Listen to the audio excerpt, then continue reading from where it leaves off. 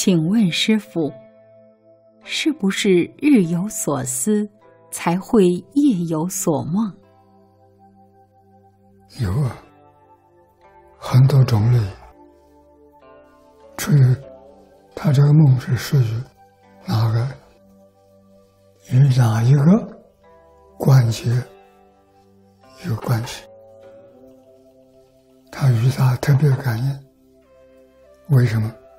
念得多，常常念，念着念着，挂在心上，这就是日有所思，夜有所梦。哪个念头都没有念阿弥陀佛好。你想想这什么道理？怕地狱，念念也想地狱，还是跟地狱缘气得深。念念不忘，他念阿弥陀佛，这个念头记录这些，马上就不一样。第一，恶言恶思，统统把它消除掉。好啊，天天改成弥陀来加持，这个缘多殊胜。所以有些老和尚主张就念阿弥陀佛，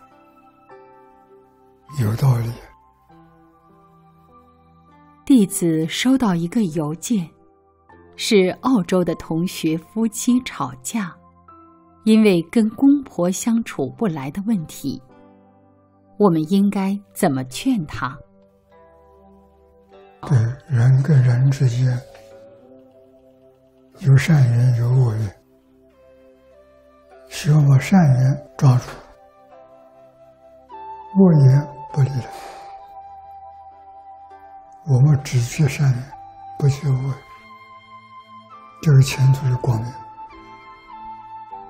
只接善缘，不接恶缘，这个念头好啊。恶缘全部给他跳掉。要从我开始，不要等别人，等别人永远靠不住，靠自己。菩萨修行，修自己，不是修别人，修自己，修自己，跟一切善缘永远结合，一切恶缘永远离开。好啊。从哪里做起？从我自己做起。从今之后，不跟任何一个人结恶无论是哪个人，都欢迎他的到极乐世界。到极乐世界还能带着冤气带出去吗？经常找不到人。你现在冤情债主没有了。一个都没有了，到极乐世界去。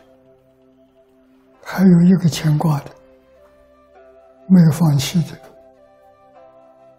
那是恶缘的绳索，你拉住不肯放，所以去不了。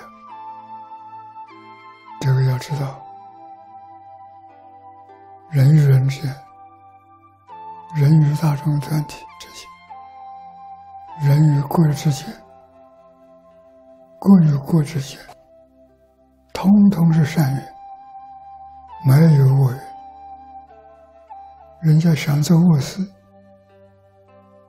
想把恶缘引过来，没有，引不进来，这叫没有恶缘的根，他说不进来。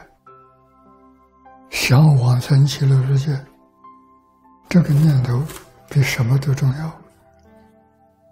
生生世世的我愿，我统统放下。好，啊生生世世的善缘，我希望牢牢的抓住。什么是我愿？念人天富贵，这个念头不好，念还有怨恨没报，那去不了。一定要善缘的接触，恶缘的断掉，这才能解决问题。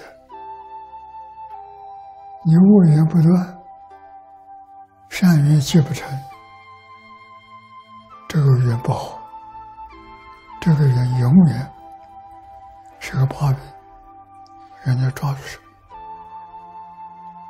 别人给我有恶缘，消了；我给别人有恶缘，断了。好啊，你这一生只有善缘。希望在这一生当中，永远断除，步步退让。